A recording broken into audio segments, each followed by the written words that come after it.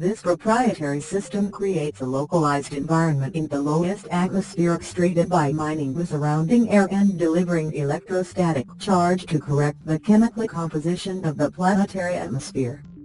The system does this by converting toxic compounds into a breathable air ratio of approximately 1 colon 3.1 oxygen to nitrogen ratio, depending on a colony's oxygen needs. Once stable equilibrium is achieved, the AP continually monitors environmental gas compositions and corrects imbalances. Byproducts can often be isolated and condensed for use as fuel sources, industrial cleaning supplies for raw materials for manufacturing,